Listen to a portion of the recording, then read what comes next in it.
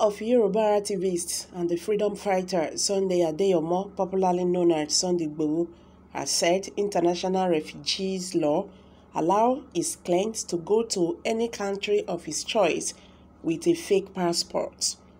According to the lawyer identified as Ojo, the coordinator legal affairs on Igboho's case, who made it known said Article 31 and the 1951 Convention relating to the status of refugees stated that the contacting state should not impose penalties on account of their illegal entry or presence on refugees who coming directly from a territory where their life or freedom was threatened.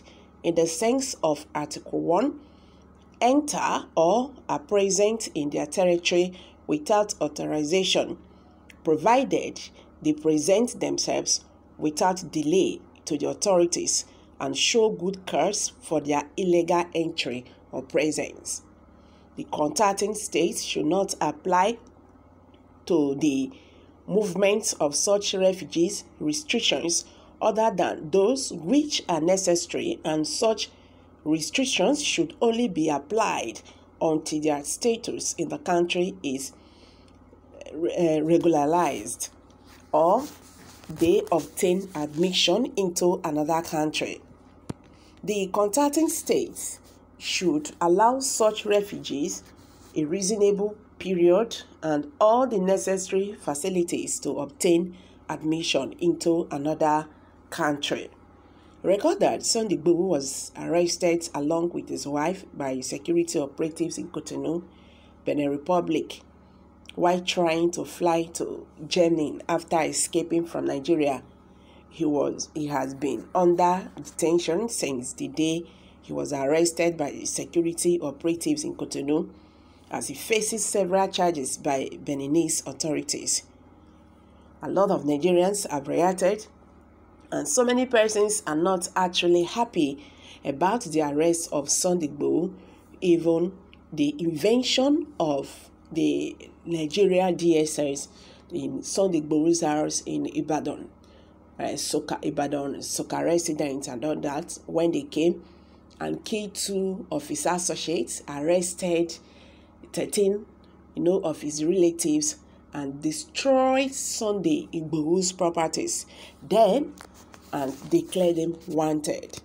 Most Nigerians are not happy about what is really happening.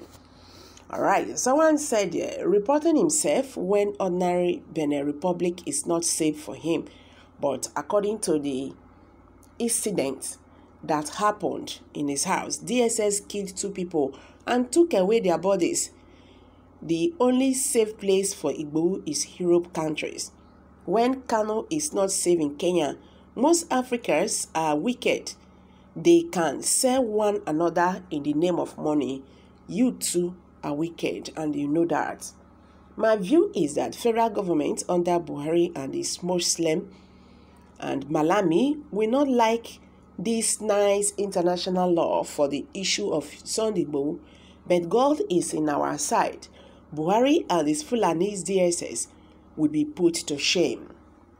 The intelligent lawyer has pointed out let's see how that would be circumcised by Benin Republic and their agents. All right, someone said there, I don't think this lawyer is serious at all. You are the one that previously said Igboho was not with a fake passport. Are you now confirming to us again now that he entered with a fake passport, don't mislead us.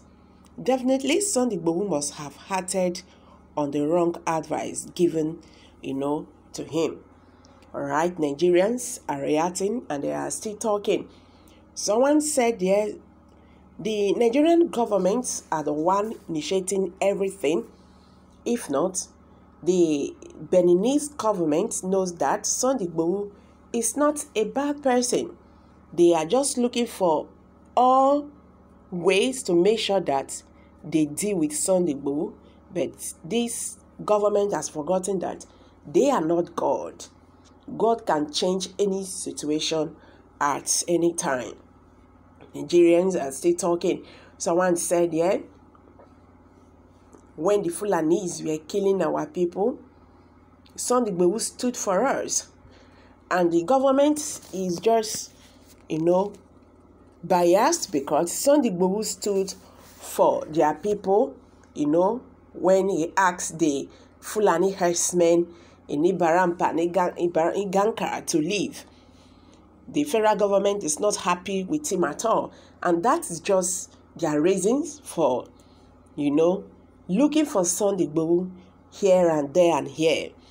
All right. Someone said, yeah, the lawyers they should try and do something about this because the federal government they they know what they are doing. They want to make sure that they deal with Sunday Igboho. You know this government, they are wicked. Whoever they mark, they want to pursue you to any length.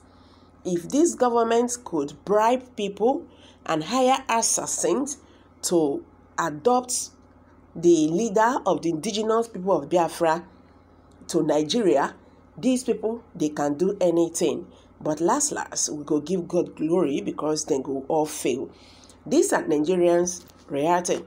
Someone said, yeah, you can imagine a government that disobey the rules of law. They are above the law. The DSS of Nigeria is above the law. The federal government, the presidency is above the law. They do things in their own way. Whatever that pleases them, that is what they do. But there is no problem. God must surely see us through. These are Nigerians, you know, Nigerians talking about what uh, Sunday Igboho's lawyer have just reviewed.